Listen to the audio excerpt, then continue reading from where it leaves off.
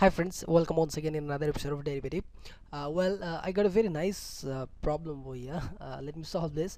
Uh, let me let, let me read first. If fx is equals to alpha times x to the power n, prove that alpha is equals to f prime 1 that is derivative of 1 divided by n right this we have to prove right how to prove this well uh, let, let me first write here our given function that is f of x right f of x is equals to alpha times x to the power n.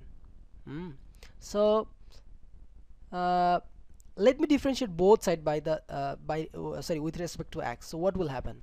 I'm just differentiating right? Uh, I mean uh, I'm finding the derivative of this both by uh, with sorry with respect to x. So it will be f of x and here also dy by d by dx that is alpha times x to the power n right uh, as we have learned in the previous video uh, that uh, uh if uh, we are going to find out the derivative of the uh, some constant times some function then we can take out the constant outside and then simply it will be the derivative of the function right? So here what I what I can do I can simply take out this alpha is a constant that's alpha outside and then d by dx of x to the power n right?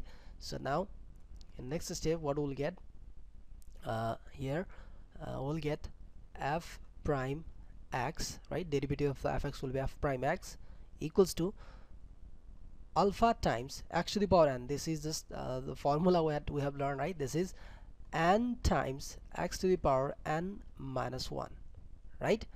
Now uh, what I'm going to do here uh, I, am going to write here uh, f prime x right and uh, then then alpha uh, alpha we need to prove the alpha right? So I'm, I'm taking all this part uh, this side. So n times x to the power n minus 1 equals to alpha right? So uh, what we get? Uh, let me write here. Alpha is equals to now f prime uh, sorry. F prime right?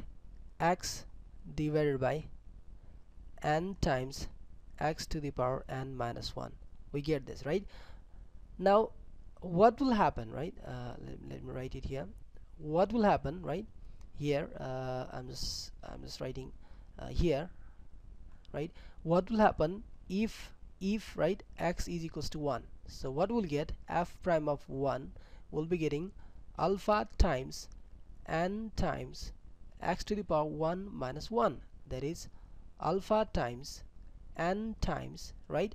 n times uh, x to the power 0 that is alpha times n. So what we get here?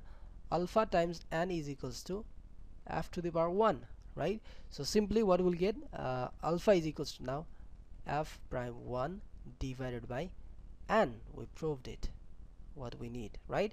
So here also if you simply if you wants to prove here that is f prime 1 if you insert here in uh, x form then it will be n times uh, in the function if you plug the value of 1 then it will be uh, simply x time 1 minus 1 that is f prime 1 the derivative of the 1 n right? Because x to the power 0 is equals to 1 so we, we proved it right? Simply uh, it, it, was so simple.